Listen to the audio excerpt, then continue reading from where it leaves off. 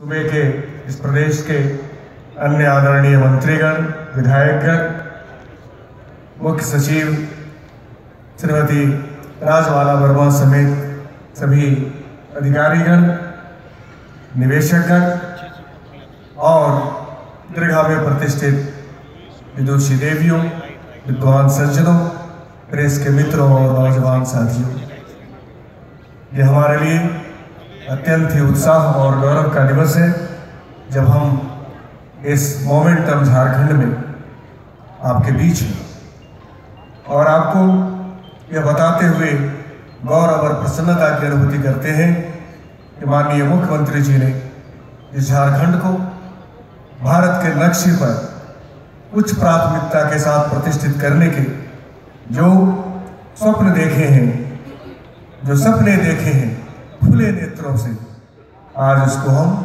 पूरा करने की दिशा में कई कदम आगे बढ़ाए हैं। माननीय मुख्यमंत्री जी, मैं आपसे निवेदन करना चाहता हूँ कि आपने जो सपना देखा है, उस सपने में संपूर्ण झारखंड के लोग, नौजवान और बाहर के लोग इस देश के लोग आपको पूरी निष्ठा के साथ सहयोग करना चाहते हैं और आपने जो स्वप्न देखा है, उसे पूरा करने में आपने हमें एक भागीदार के रूप में अवसर दिया है। इसके लिए बहुत ही हार्दिकता के साथ आपके प्रति साधु भाव व्यक्त करते हैं। हमें केवल पाँच मिनट का समय दिया गया है। इस पाँच मिनट में तुम्हें माननीय मुख्यमंत्री जी के संकल्पों के बारे में उसकी भूमिका भी कहने में सक्षम नहीं हो सकूँगा। इसलिए अपनी बात को बहुत ही संक्षिप्त करते हुए अपनी बात पर आता हूँ, अपने प्रसंग पर। कि हम, हमसे माननीय मुख्यमंत्री जी ने और झारखंड सरकार ने जो अपेक्षाएँ की है, हम आपको क्या देना चाहते हैं, क्या करना चाहते हैं?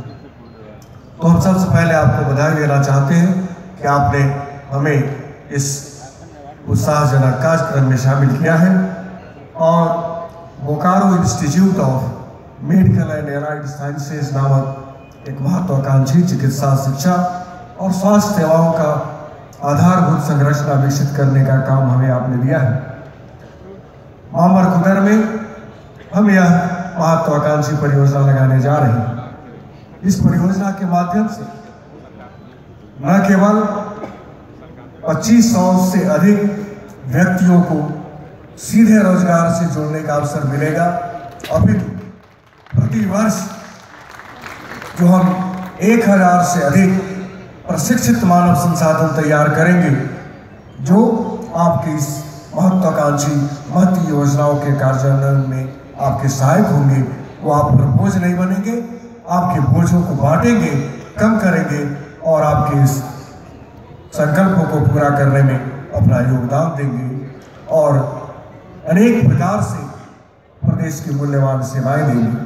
और साथ, उस, इस परियोजना के माध्यम से मैं आप यहाँ प्रतिष्ठित सभी देवियों और सजनों को यह निवेदन करते हुए बताना चाहता हूँ यह संस्था जो आधारभूत संरचना विकसित करेगी, उससे लाखों लाख पीड़ित मानवता की सदियों, शताब्दियों तक सेवा होती रहेगी।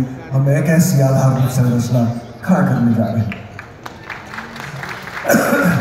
हम एक परिसर के भीतर आधुनिक चिकित्सा विज्ञान की जितनी भी शाखाएँ, वो चिकित्सा प्रशिक्षण कार्यक्रम, दंत चिकित्सा प्रशिक्षण कार्यक्रम, परिचारिका प्रशिक्षण कार्यक्रम, फिजियोथेरापी और विकलांगों के पुनर्वास से संबंधित प्रशिक्षण कार्यक्रम, परिचारिका प्रशिक्षण कार्यक्रम, ये कई समय की प्रशिक्षण के कार्यक्रम जो प्रमाण पत्र से स्नातकोत्तर स्तर के पाठ्यक्रम होंगे।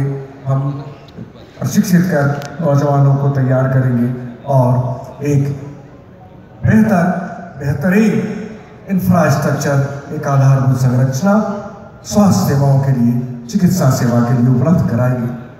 हम आपसे निवेदन करना चाहते हैं, मुख्यमंत्री जी, कि किसी भी समाज का आकलन स्वास्थ्य और शिक्षा से होती है। अगर लोग स्वस्थ हैं और शिक्षित हैं, यानी उन्हें कौशल प्राप्त हुआ है तो उन्हें और किसी चीज़ की आवश्यकता नहीं पड़ती, उन्नति के मार्ग से तलाश लेती। तो हमने कोशिश की है कि यह आधारभूत संरचना हम आपको दें।